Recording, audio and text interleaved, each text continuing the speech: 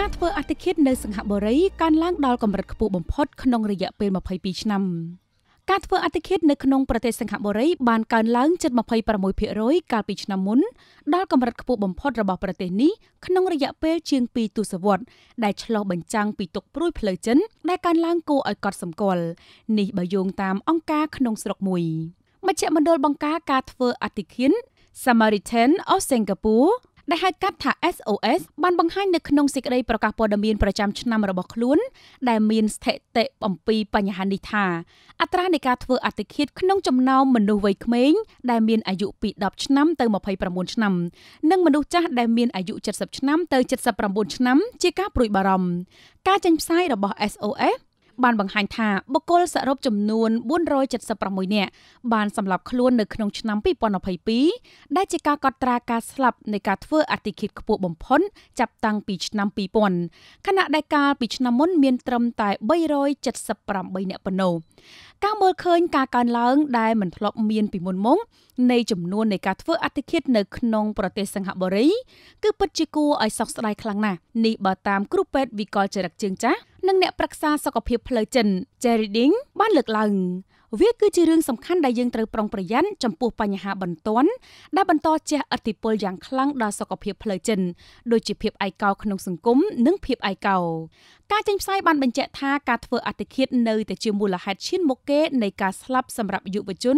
អាយុពី10ឆ្នាំទៅ29ឆ្នាំរយៈពេល4ឆ្នាំជាប់ជាប់គ្នាដែលមានចំនួន33.6%នៃការស្លាប់ទាំងអស់នៅក្នុងក្រុមអាយុបុគ្គលសរុបចំនួន125នាក់អាយុពី10ឆ្នាំទៅ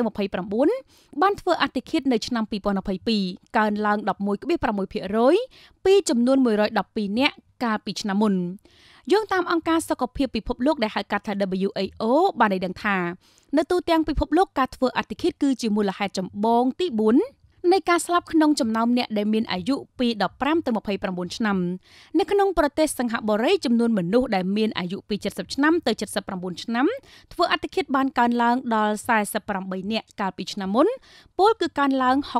60%ពីចំនួន30នាក់នៅក្នុងឆ្នាំ